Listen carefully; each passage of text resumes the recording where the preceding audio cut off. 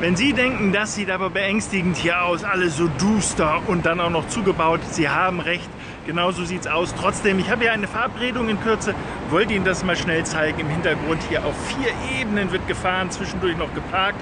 Ich weiß nicht, ob Sie es hier erkennen können. Es ist also wahnsinnig, in welcher Höhe hier gebaut wird. Höhe ist auch das Stichwort, wenn wir uns die Märkte angucken. Heute in Asien nicht besonders gut unterwegs gewesen. Tokio hat wieder das abgegeben, was wir gestern hier mal gut gemacht haben.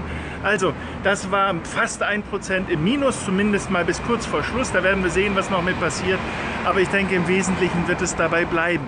Ansonsten Asien ebenfalls, also wenn ich auf Indien gucke, wenn ich auf Shanghai, auf Hongkong gucke, alles negativ, allerdings dezent. Also nichts wirklich Tragisches, keine wirklich deutlichen Bewegungen, das ist einfach nur ein Hin- und Hergeschiebe.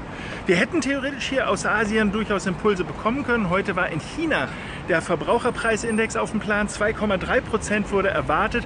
Tatsächlich sind es aber nur 2,0 äh, gewesen. Also insofern ein bisschen weniger stark gestiegen, aber sagen wir mal, der große Überraschungseffekt ist trotz der Abweichung zur Prognose ausgeblieben.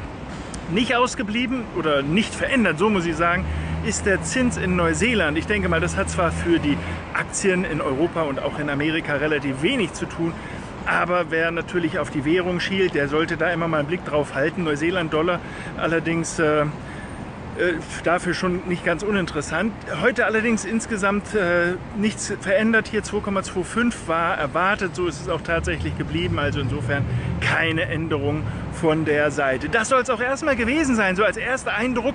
Wir werden sehen, was der Markt macht. Ich werde mich nachher nochmal melden. Ich habe jetzt hier gleich meine Verabredung, da muss ich jetzt rein.